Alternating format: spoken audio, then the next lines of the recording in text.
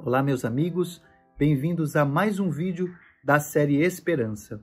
Em nome da Caminho Azul, mais uma vez agradecemos a oportunidade de estarmos juntos para mais este momento de aprendizado, para mais um momento onde juntos estaremos refletindo sobre esses assuntos importantes, misturando assuntos filosóficos, religiosos, científicos para construir um conceito de educação para este momento de pandemia, para este momento de confinamento, para que consigamos usufruir desse momento e sairmos dele melhor do que entramos. Dividimos esses vídeos e esses conhecimentos em etapas e ciclos, e vídeos novos saem todas as quartas e domingos.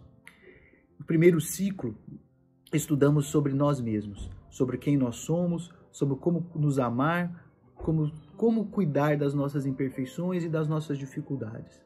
No nosso segundo ciclo, estudamos o ambiente, este material pedagógico que nos faz aprender, que, nos, que nós entramos em contato inclusive com o nosso corpo e nos movimentamos através da nossa relação com esse ambiente a nos transformar.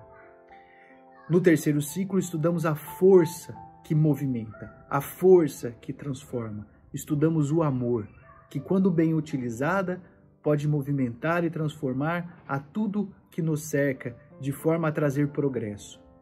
E agora, no quarto ciclo, iniciamos um processo de entendimento sobre o trabalho. Este ciclo que é o preparo para o trabalho. No primeiro vídeo, estudamos o conceito de trabalho. No segundo vídeo, estudamos a vontade, a boa vontade. E hoje estudaremos um, um sentimento que é muito importante para este movimento de relacionamento, o qual chamamos de trabalho. É a compaixão e a piedade. Este sentimento que mora dentro de nós e que nos faz nos colocarmos na posição do outro. Existem áreas do nosso cérebro responsáveis por isso. Existem as regiões do, do lobo temporal inferior, o giro fusiforme, que quando nós olhamos a face do outro, ele interpreta essa face e nos faz entender exatamente o que o outro está sentindo. Existem outras regiões responsáveis por isso, mas o trabalho delas é fazer com que nós entendemos exatamente como o outro está se sentindo, sentindo essa sensação. Temos uma rede neuronal que se chama hoje rede de neurônios espelho. E essa rede de neurônio espelho muito antes de nos movimentarmos a fazer uma resposta que desejamos, ela já é ativada e já nos faz ter uma sensação antecipatória a respeito do que vamos fazer. E quando o outro está fazendo aquilo que gostaríamos de fazer, ela já se ativa e nós temos a sensação que nós estamos fazendo o que o outro está fazendo. Tudo isso para que consigamos nos unir aos atos do outro, nos unir aos atos do próximo. E a maturidade com a qual vamos tendo neste movimento vai nos fazendo nos colocar na posição do outro de uma forma mais virtuosa, de uma forma a nos preocuparmos, de uma forma, de uma forma a entendermos que aquela pessoa muitas vezes não está sofrendo ou está tendo dificuldades, mesmo quando aquela atitude é uma atitude agressiva, uma atitude irritada, passamos a entender o outro e nos colocarmos numa posição de queremos auxiliá-lo. É um movimento que quanto mais o nosso coração estiver puro, quanto mais nós tivermos a, a, a pureza de coração, mais nós vamos é, entender o outro. É como se abríssemos o nosso coração, né? Como se abríssemos a, nossas, é, a porta de nossas fortalezas íntimas para colocar o outro em uma posição de cuidado, para entrar em contato com o outro coração. É o nosso coração se abrindo e iluminando a nossa relação e entrando em contato com o outro é, coração. Para que isso aconteça, essa maturidade, essa, esse comportamento virtuoso, ele é um comportamento de nos despersonificarmos, de amolecimento desse coração. Porque os corações duros, os corações personificados, eles estão muito presos à personalidade, eles estão muito presos a quem nós somos, eles estão muito presos à nossa vontade, eles estão muito presos a, a, as no, aos nossos objetivos, aos, ao que a gente tem como preceitos e como verdade. Então, para que a gente consiga ter esse movimento mais maduro, esse movimento de piedade e de compaixão de uma forma mais nobre, nós precisamos amolecer os nossos corações e nós precisamos nos despersonificar. E aí, quando abrimos o nosso coração, passamos a entender, não só refletir o ato, a experiência que o outro está fazendo, mas passamos a sentir a angústia que está movimentando o outro. Mesmo quando o outro está tentando nos agredir, conseguimos ter essa compaixão porque sentimos que por trás daquele movimento agressivo tem um coração que está sofrendo, tem um coração que está com dificuldade. E para um bom trabalho, para que o trabalho aconteça, para que o movimento fraterno e cooperativo de trabalho para com a humanidade aconteça, esse sentimento precisa estar purificado. Ele precisa estar enobrecido, para que consigamos entender a partir daí como o outro está se sentindo. O que movimenta o outro, para que daí a gente consiga entrar no movimento de ouvir. Ouvir sem gerar um pensamento de maledicência, um pensamento de confronto, um pensamento de disputa, um pensamento de tentar fazer prevalecer os meus preceitos, de tentar fazer prevalecer a minha verdade um movimento que, mesmo que eu não concorde com o outro, eu consiga ouvi-lo e entendê-lo, eu consiga me movimentar a não entrar em confronto com aquilo. Porque aí eu vou fazendo que a, com que o meu silêncio se transforme em um espelho. Com que o silêncio se transforme em um espelho para que o outro raciocine sobre aquelas palavras através da minha paciência, da minha tranquilidade. E o meu heroísmo está em dar o suporte quando aquela pessoa não mais conseguir vencer as suas dificuldades, abrir o seu coração e pedir ajuda, né? E aí a minha piedade, minha compaixão vai estender a mão para com ele e trazer ele para um movimento de melhora, para um movimento. Então assim, essa compaixão e essa piedade, ela é a base, ela é o alicerce do auxílio ao outro mas ela precisa dessa sabedoria, ela precisa desta destreza, da capacidade de controlarmos os nossos sentimentos, da sabedoria e da capacidade de controlarmos os nossos pensamentos, a nossa razão, de querer que o outro goze uma situação de melhora, de tranquilidade, de paz, de transformação dos seus sentimentos. Então ela vai depender muito da maturidade com que o outro sente piedade e compaixão. Não adianta somente eu olhar, ter compaixão com aqueles que estão sofrendo, que estão passando penúrias e passando dificuldades, pois esse todos nós temos compaixão. Mesmo a pessoa mais maldosa e com mais dificuldade, com mais primitividade, mais adoecida, é, é, é fácil, é mais fácil ter piedade das pessoas que estão em grandes sofrimentos.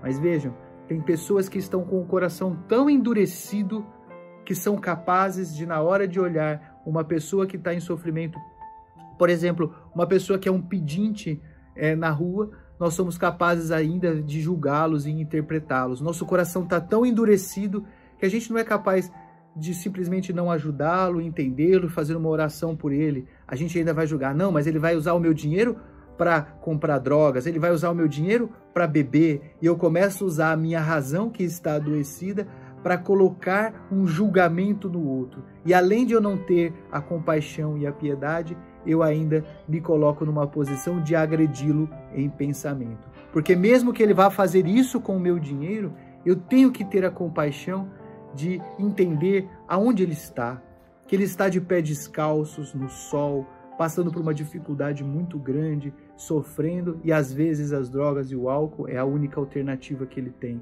É o único alívio. Ele não tem dinheiro para comprar remédios, para ir num médico, para tratar a sua saúde mental e no seu sofrimento extremo, o álcool e as drogas são a sua medicação. Né? Então, nós temos que ter essa ideia e que mesmo que a gente não seja capaz de entregar a nossa ajuda material, a ajuda espiritual é muito melhor, né? É, eu posso dar uma oração, eu posso abrir a janela e perguntar o seu nome, e dar um sorriso, e alguns momentos de palavra alimentar este ambiente de um trabalho fraterno e cooperativo, né, de alguns segundos e que pode fazer diferença naquele, é, naquele indivíduo. Né? Agora, existem pessoas que não estão na miséria, que são muito ricos, que têm tudo que a gente gostaria de ter, né? que têm uma vida material muito boa, mas que sofrem, que são irritados, que, tem pessoas, que não encontram uma paz de espírito e que também precisam da nossa piedade, também precisam do nosso entendimento. E muitas vezes essas pessoas vão falar e vão impor as suas coisas e nós vamos ter a nossa piedade, vamos ter a nossa compaixão através da tolerância, através da entrega, através do não julgamento, de entender que esta pessoa às vezes precisa de ouvidos, precisa de um coração aberto que possa mostrar no momento certo um novo entendimento e um novo é, caminho, né? Para que ela possa encontrar realmente uma paz após um momento de sofrimento e de reflexão. Então, este movimento é um movimento de entrar na dor do outro, independente do seu contexto material. É o olhar que tem por trás daquele corpo. Aquele corpo tem uma mente, tem uma pessoa que pensa, tem uma alma, e as almas são todas iguais. Nós somos todos iguais e enfrentamos os mesmos sofrimentos, independente de onde estamos e das condições em que vivemos.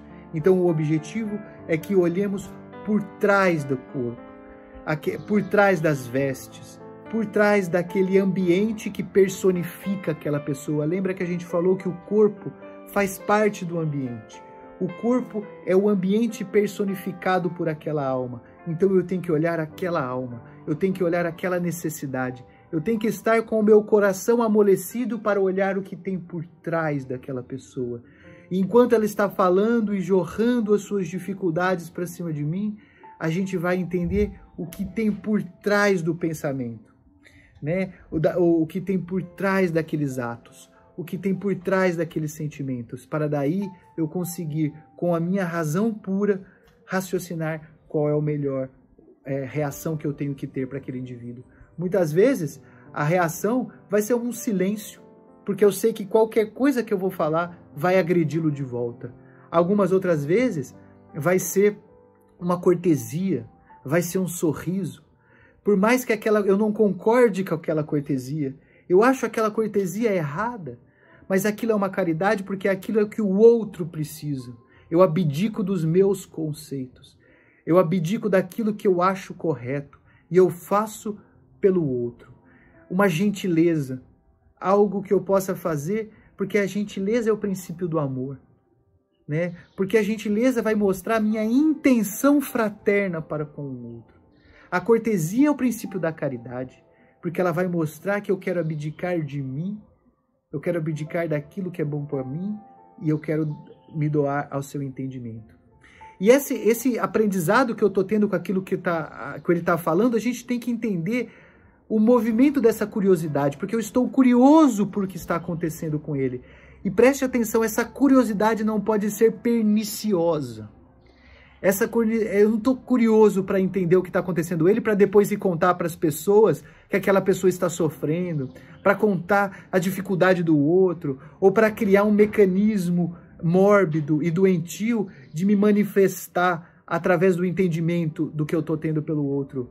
É não, é, é, é uma curiosidade de espírito de simpatia. Esse espírito que vai me movimentar um trabalho. Então a minha curiosidade não é perniciosa, de depois querer falar mal do outro.